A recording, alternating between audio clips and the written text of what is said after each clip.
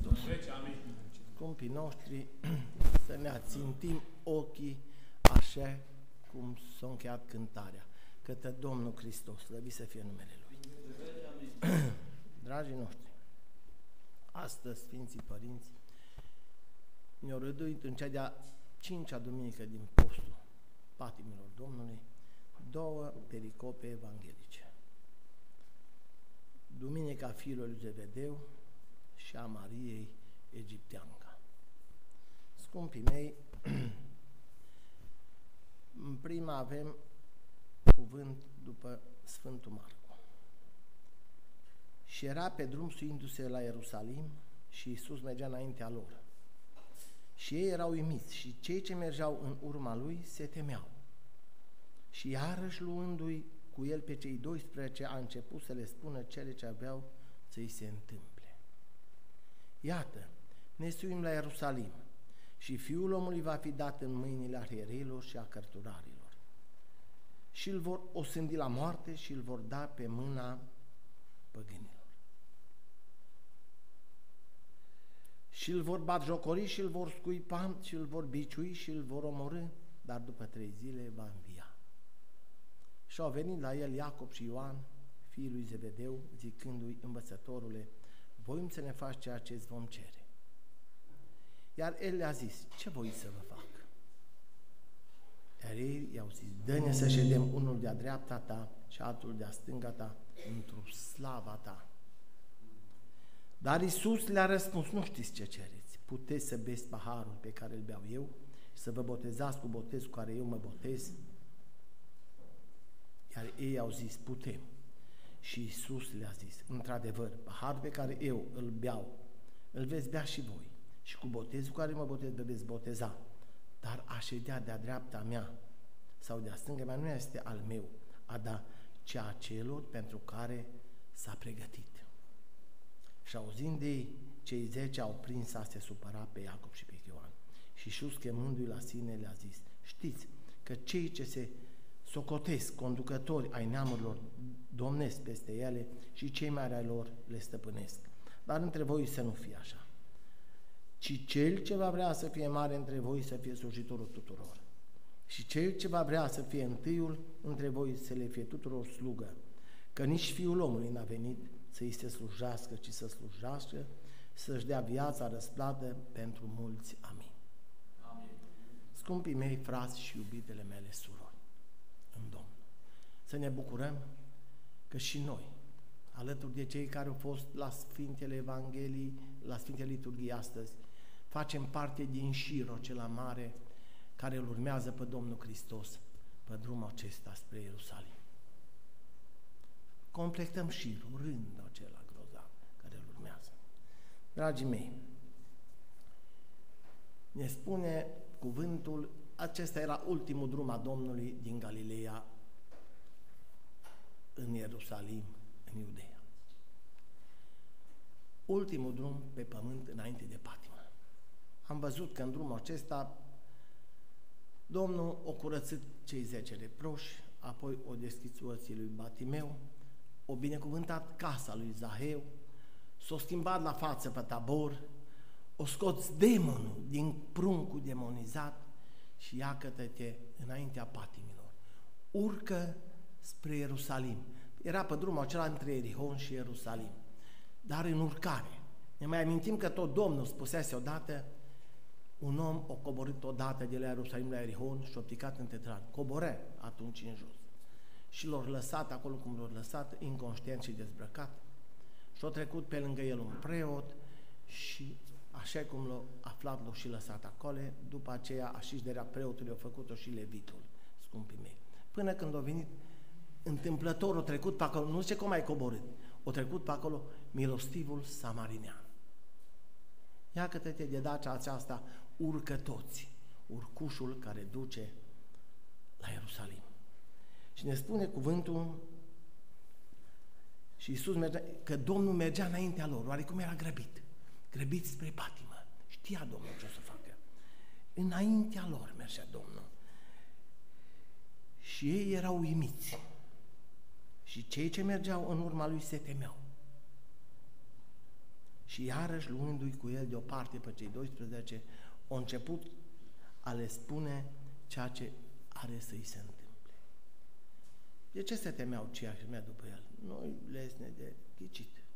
Simțeau că nu este constanță la final acolo. Că nu va fi prea bine, probabil. Dar la cei 12 le spune, le spune a nu știu câte oară acum, le vestește ceea ce trebuie să se întâmple, ceea, este, ceea ce este în planul divin. Nu era o întâmplare sau o trebuință care trebuia făcută pentru Dumnezeu, ci tot pentru noi oameni. Jertfa de pe Golgota Domnului, pentru mântuirea noastră. Asta trebuie să aibă loc. Domnul știa, scumpii mei.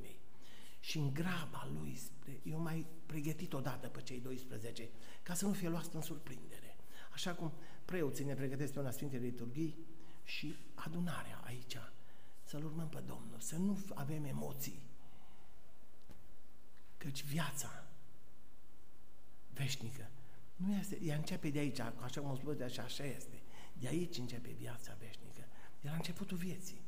Că viața este viață. Și moartea este în afara ei. Nu este acolo. Este pe celălalt teritoriu, în celălalt hotar. De aceea, uitați Sfințile voastre cu câtă dragoste Domnul își pregătește ucenici, în special pe apostoli. Fie un apostol bine pregătit a Domnului de aici, din sala aceasta. Și știți de peste tot. Care sunteți în stare să-L urmați. Fie, iar femeile sunteți niște mironosițe, surorile din adunare. Sunteți în stare să vă creșteți copii așa cum trebuie. Sunteți în stare să, după ce ați dat naștere, să sădiți în ei învățătura Domnului. Cuvântul care poate să-i ducă și pe ei la viața veșnică. Și să o faceți fără nicio jenă. Nu certându-i, ci iubindu-i, binecuvântându-i și lăsând orice avere l-am lăsat copilul aceștia, palate, bani, pământuri, nu-i vom ajuta. Dar dacă îi vom lăsa în biserica cea via Domnului Hristos, i-am lăsat în viață. Chiar dacă noi plecăm de aici. Dacă le vor lăsa toate bogățiile astea, care le-au luat vânzarea flotei sau a nu știu câteva firme din România și așa mai departe, nu-i salvăm, iubiții mei. Ei rămân tot la cele muritoare. Dar dacă îi vom lăsa în biserica aceea via Domnului Hristos, copiii aceștia rămân în viață de noi. Și copiii lor, la rândul lor, vor fi în viață, că îi vor duce mamele și părinții lor mai departe în viața veșnică. Ia câte ce minunat a făcut Domnul Hristos cu ucenicii. Eu pregătit să rămână în viața veșnică. Dar ce se întâmplă aici? Doi dintre ei, și nu oricare, fiii lui Zevedeu, frații Iacob și Ioan care participase aparte la unele minuni deosebite ale Domnului, ca învierea fiicei lui Air, la schimbarea la fața Domnului pe muntele Tabor, la cota 520, ei au participat acolo pe Tabor cu Domnul, cu Ilie și Moise, la înălțimea, ce crezi că era acolo? Raiul, în rai. I-a dus Domnul rai încă în trupul acesta fiind acolo. Și când s-au coborât de acolo jos, la polele muntelui, și ăia să sfădeau acolo toți, cine scoate demonul, ce-or face, acum nu-l puteau scoate. Unde erau ei în groapa aia acolo? Erau în iad, iubiții mei, jos în iad. Stăteau să certau acolo, în iad. Până a venit Domnul și eu deschis și eu. Când mulțimea năvălea, ce Domnul a scos demonul. Eu spus, ești în ea și să nu mai intri. Și copilul a căzut și apoi Domnul l-a ridicat și și-a răcăpătat puterea și viața. P- părintele, copilului. Eu zis, crede și îl vei vindeca, că aduceți-vă aminte. Câte credințe cred că au avut copilul acela, tata acela? Au avut o credință mai mică decât un grăunte de muștar. Că dacă ar fi avut credința cât grăunte de muștar, ia bată i-ar fi spusă, i-ar fi spusă frumos copilului, demonul ieși și ar fi ieșit dinaintea tatălui. Dar nu a avut, a avut mai mică credință ca și grăunte de muștar, mititică. Când o avem cât grăunte de muștar, orice vom spune, negreșit că ni se va întâmpla și vom putea realiza. Nu se poate să nu ne asculte. Domnul a spus, dacă veți spune sicomorului sau pomul de mută, de aici acolo se va muta. Și nimic nu va fi cu nepuțință nouă. Dar credința tatălui acela a fost mititică, un micron dintr-un grăunte de muștar, scumpii mei frații care lucră în domenii de astea mai Sper știu ce mărime poate avea a mia parte din bobul de muștar. Scumpii mei, aceștia doi, după ce au auzit ce îi se întâmplă, Domnul se duc la Domnul și îi cerce să șadă unul de-a dreapta și altul de-a stânga în slava sa. Tot m-am întrebat ani de zile cine au fi fost cei care Domnul a zis trebuie e a celor care s-au rânduit să stea acolo. Cine or fi aceia? Și dacă veți avea ocazia mea la mănăstire așa, veți vedea acolo în față pe Domnul și stând de-a dreapta lui pe Maica Domnului, în partea dreaptă și în stânga pe Sfântul Ioan Botezătorul. Iată cine au avut pregătită locașul să stea acolo lângă Domnul în momentele acelea. Dar în momentul acela Domnul nu l-a s-o gândit. Domnul știa că va sta pe Golgota între două cruci, între alți doi și și-o luat pe el pe cruce cei mai căzuți din societate doi, doi tălhari, iubiții mei, doi criminali sau ce-o fi fost, care și eu au fi fost condamnați la moarte. Să știți că crucea Domnului nu a fost mai mare decât a lor, nici mai mic, au fost egale crucile.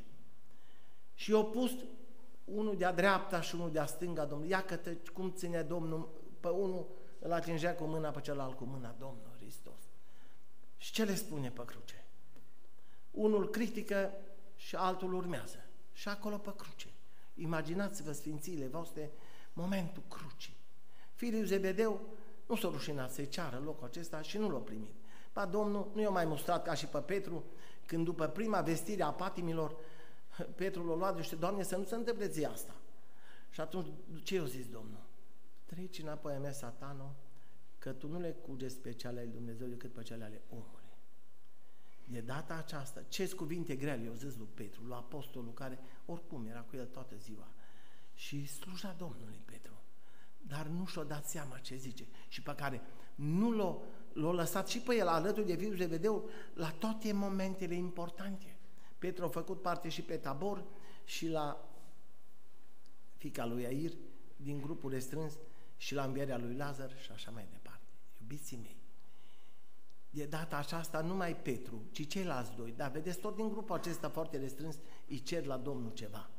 Îi cer slavă, îi cer, știau, erau convinși că o să se întâmple ce le spune Domnul. Ce le spusese Domnul, erau convinși că o să se întâmple. De aceea eu cerut. Fiul lui Zebedeu deja aveau convingerea, numai să îndoiau că nu o să fie. E clar ce o zis Domnul. Dar hai să ne pui pe noi unul din coace, unul de tine, poate, poate scăpăm cumva. Ce minunat a fost slava ta pe tabor. Văzuse slava Domnului pe tabor. Și când a văzut-o cât de minunat, o spune în slava ta acolo, doar aia e slava ta. Că eu știu, numai că nu erau pregătiți pentru aceea. Și Domnul le spune, voi le spune foarte clar, voim să ne faci ceea ce vom cere. Și, dar Iisus a răspuns, nu știți ce cereți. Puteți să beți paharul pe care vă beau și să vă botezați cu botezul cu care voi boteza. Și o să putem. Și Domnul îți vezi, bea paharul. Și l-au și băut amândoi. Și s-au botezat cu botezul Domnului. Gândiți-vă că Sfântul Apostol Iacov a fost primul martir dintre apostoli, cam la 10 ani după Domnul, în 43-44, l-a rucis în Ierusalim. Celălalt a fost în perioada, Ioan a rămas în viață și a murit de moarte bună, dar în perioada împăratului Domitian a fost exilat în insula Patmos, unde a scris minunata carte a Apocalipsei. Extraordinar, scumpii mei, ce-au pățit cei doi. Dar nu era vorba de ei aici, trebuie alții. Domnul și-a luat pe cruce el doi din cea mai josă clasă socială și tacmă existentă pe planeta Pământ, tălharii și criminali. Ce ne-au arătat? Că oricare, fiind acolo de pe pământ, dacă îl va urma pe Domnul, va putea ajunge în rai. Ați văzut pe tălharul din dreapta Domnului ce-a zis? Doamne, ajută-mă, neputințe, ajută-mă să binecuvânteam și pe mine când vei ajunge în părăția ta. Și Domnul i-a spus, astăzi tu vei fi cu mine în rai. Celălalt nu a crezut pe Domnul și l-a ocărât pe Domnul. Nu ești tu Mesia. Ei, dar o văzut după aceea ce-o pierdut. Când l-a văzut pe celălalt, de bună seamă l-a fi văzut, așa cum l-a văzut bogatul pe Lazar și acesta l-a fi văzut în sânul lui Avram în rai pe celălalt. Și nu știu ce-o fi zis. nu mai știm mai departe, dar sigur s-o fi căit probabil. Ia că te oricare din pe pământul ăsta, cât de jos am fi, putem să-L urmăm pe Domnul acolo sus. Putem să ajungem în rai dacă îl urmăm pe Domnul. Cu toată ființa noastră, cu toată credința noastră. Este, Domnul, veniți scumpii mei, la ce altar credeți că o slujit Domnul pe pământul ăsta? Nu a slujit în altarul, nici în Sfânta, nici în Sfânta Sfintelor, nici într-un altar, dar o slujit în cel mai minunat și mai greu altar existent, în altarul suferinței. La altarul suferinței o slujit Domnul pe pământ. Dacă ar fi mers să slujească la altar, știți ce ar fi făcut cu el? L-ar fi ucis cu pietre imediat. Nici n-ar fi mai ajuns să facă acest ultim drum aici. Ori unde ar fi mers într-o sinagogă iudaică, cei care conduceau sinagoga sau care slujeau acolo preoți și leviți, l-ar fi ucis, ar fi dat poruncă să fie ucis cu pietre. Așa cum l-a ucis pe Sfântul Arhidiacon Ștefan. Ar fi fost aceasta și soartă. Domnul știa aceasta. De aceea, dacă, cu tot respectul vă spun, orice îi vom cere la Domnul ne va face, dar cu o singură condiție, ca să-L urmăm. Să-L urmăm fără să crignim. Să ne facem copii aceștia care sunt aici și pe prietenii noștri. Să-L urmeze pe Domnul. Să intre în biserica cea vie a Domnului. să vie la adunare. Să meargă la Sfânta Liturghie. Nu țineți copiii acasă dimineața când bate clopotul. Mai stau ei puțin să doarmă, că vor crește, țucă e mama. Nu, iubiții mei, vor crește. Vor crește, dar vor rămâne mici și cei care ni se par că rămân mici vor fi mari. Mari urmași a Domnului Hristos. Mă uit numai la un exemplu de la noi, din noastre. Când am venit la adunare dincolo, era micuță sora Ioana Tecarului. Mijlocii, așa, avea 12-14 ani cât avea Ioana. Și Ioana cu credința și cu tot mai departe și anul trecut Ioana a terminat liceul. Era așa încununată de bunătate și am avut ocazia să de vreo două, trei ori. Frate Sabin, caută și mie să fac curățenie unde vreau să fac niște bani. Că le greu părinților mei. Trebuie să lucrez, vreau să și lucrez ceva. Ioana, zic credința ta o să-ți dege, nu te o să apăra de bine că ți va da Dumnezeu. Da. Cum va fi aceasta? Zic, bine, o să o vezi. Astăzi, Ioana a ajuns într-o poziție extraordinară și este doar început. O să vedeți saltul acestui credincios, acestei credincioase extraordinare nu pilele, ci ajutorul direct a Maicii Domnului, a Bunului Mântuitor și a celor care au plecat de aici și care răsplătesc urmarea Domnului Hristos la fiecare individ existent pe planeta Pământ. Îi răsplătesc și aceste minunate surori noastre, efortul și credința curată și bine plăcută Sfintei Trei. Să urmăm exemplele pozitive. Mă uit la sora Simona, nu știu ce o fi răzit. Dar știu că Maica Domnului cu ea toată ziua îndemnând-o să torne picătură după picătură în inimile acelea mici acolo, acum, care sunt mari și bine Dumnezeu. Unul dintre aceștia mici, făcându-ne, făcându-le voi, mie mi-ați făcut, zice Domnul. Cei care le facem lor, Domnului facem. Iată-te ce minunat este să facem ceea ce ne-a poruncit Domnul să-L urmăm pe Domnul. Să mă uit numai la, la bunătatea cu care fratele Costel și ceilalți frați, sora uh, Rut și alți cântăreți care cântă la aparate, copiii Domnului, fratelui Busuiog, Andrei, mai, mai uh, cu totul deosebit la orgă, aduc slavă Bunului Mântuitor și urmare în toată splendoarea, cu toată bunătatea. Iată să încercăm și noi, nu să-i tot cerem Domnului, să mai și dăm ceva, scumpii mei. Căci ce le spune Domnul celor care nu putea scoate la apostol? De ce noi nu l-am putut scoate pe demon? Pentru că nu este numai cu post și rugăciune. Când postim, suflii mei, scumpii mei, frați și scumpii mei surori, se bucură sufletul și Duhul din noi. Când mâncăm bine, se bucură trupul. Oricând avem zâmbetul, odată avem pe cel ascuns care nu se vede, a ființei spirituale, apoi vine și celălalt zâmbet. Zâmbetul trupului, care e dătător de bine, dar toate trebuie îmbinate ca să asigurăm și bucuria sufletului și bucuria trupului cât suntem aici în existența aceasta minunată. Să-L urmăm pe Domnul toți, să slăvim prin cântări, prin poezie, poezii frumoase sunt la oaste. Frate Traian ne-a lăsat un așa minunat repertoriu. Zona aceea a Bihorului a lăsat atâția oameni minunați. De acolo e și în Alpea Sfințului, de acolo Traian Borst, chiar ne-am spus la înaltul, sunteți vecini cu Traian Dorst. Zice, ce, reper, ce n-aș fi dat și eu să scriu cât o scris Traian Dorst. Eu citit opera, nu odată, probabil de mai multe ori.